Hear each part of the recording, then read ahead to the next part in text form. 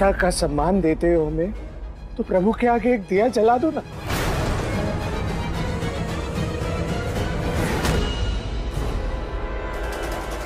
क्या मुश्किल?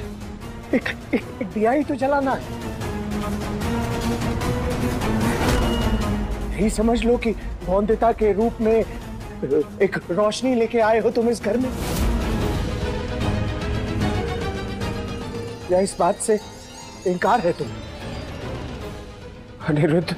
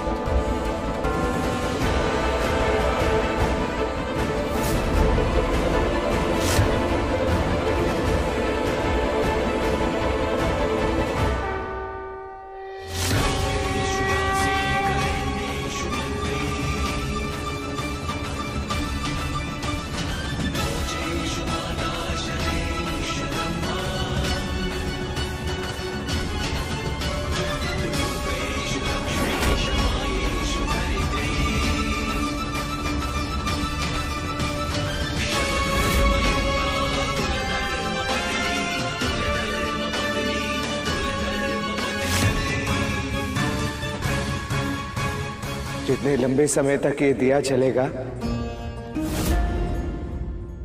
या और बाती की तरह, उतने लंबे समय तक अनिरुद्ध और बहू का रिश्ता रहेगा।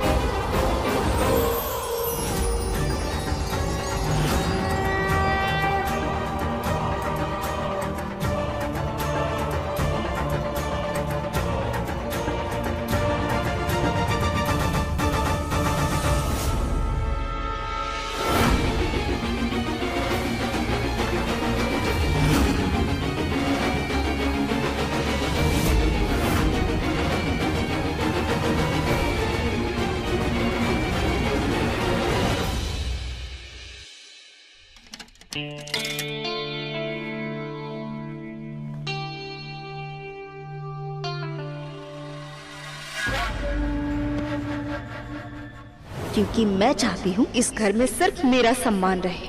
अब क्या करो? यही मेरा असली रूप है। अगर मेरा कहा ना माना तो रह पाओगी इस घर में। मेरे पिताजी का दिया हुआ घर है ये। और मुंशी जी को किसने लगाया था चाकरी पर? रॉय चौधरी के यहाँ? मेरे पिताजी ने। ये सब क्या है बहू? और ये क्या है? ऐसी माला? ये तो आधे तोले से भी कम लगती है। और ये क्या है? ये सिर्फ़ दो ही कुर्ते हैं। रेशम के कुर्ते नहीं मिले।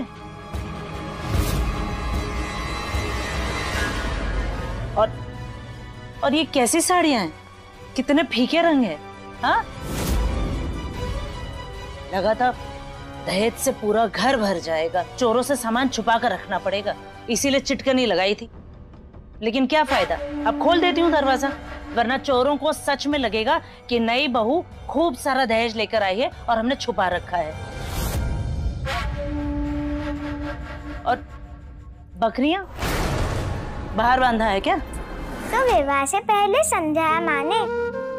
भगवान होता है पति और भगवान के पैर छूकर आशीर्वाद लेना चाहिए उनसे। आप नहीं देना चाहते मुझे आशीर्वाद? अरे मैं कौन हूँ आशीर्वाद देने वाला? और पति भगवान कैसे? हम्म, मैं मैं दिखता हूँ भगवान जैसा। बताओ।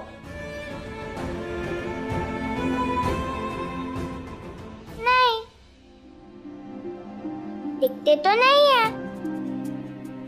पर माँ ने बताया था। काम भगवान जैसा ही किया है आपने मेरे लिए। नहीं ना मैंने कुछ किया है ना मैं भगवान हूँ। पर सब कहते हैं के पति भगवान होते हैं। सब कुएँ में कूद जाएँगे तो तुम भी कूद जाओगी क्या कुएँ में? तुम्हारा अपना दिमाग नहीं है तुम्हारे पास? देखो मुझे। मेरे दो हाथ हैं दो पाँव हैं दो कान हैं दो आँख हैं एक नाक है। वैसे ही नहीं जैसे तुम्हारे पास हैं। कुछ अलग है क्या मुझमें? मेरे आँखों से रोशनी निकल रही है। जब भगवान ने पति पत्नी भाई बहन आदमी औरत सबको एक समान बनाया है तो हम क्यों नहीं समझ सकते एक दूसरे को एक समान? किसी एक का भगवान होना क्यों ज़रूरी है? आप बातें बहुत अच्छी करते हैं। और सही भी। अगर आप सही हैं तो मामी काकी काका गाँव वाले सब गलत क्यों बोलते हैं?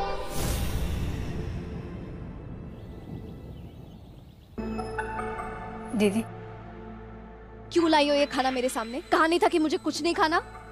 फिर क्यों लाई हो? लेकर जाओ ये सब। दीदी एक निवाला तो खा लो। समझ नहीं आता एक बार कहा तो? दोबारा अगर ये खाना मेरे सामने लाया तो मुझसे बुरा कोई नहीं होगा।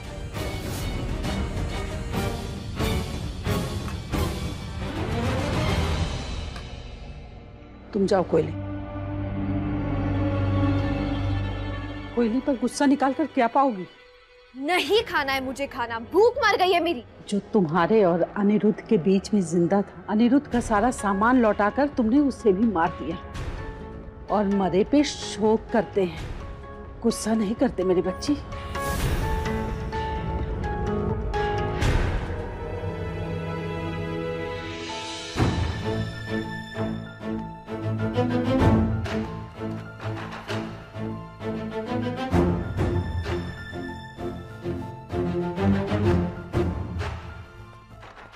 इसे पढ़ो।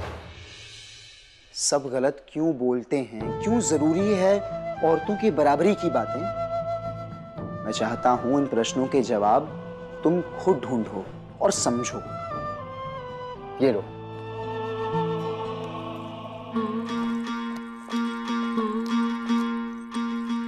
ढूंढ बताइए कहाँ छुपा है जवाब? पढ़ो इसे। इस किताब में तुम्हारे सारे प्रश्नों के जवाब छिपे हैं।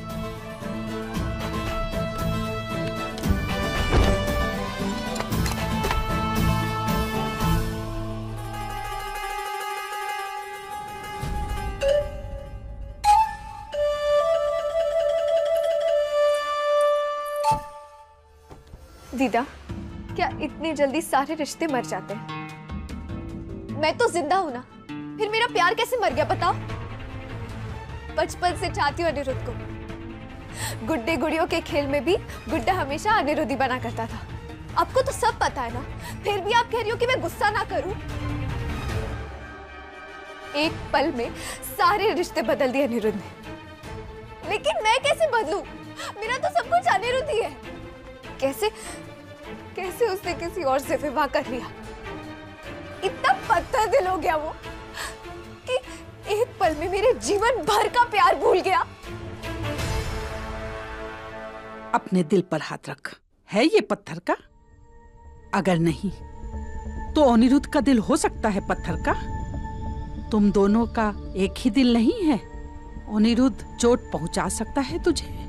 ऐसा तू सोच भी सकती है। तू मुझसे नहीं अपने आप से पूछ। तू खुद अनिरुद्ध से ज़्यादा जानती है अनिरुद्ध को। अब सही कह रही है दीदी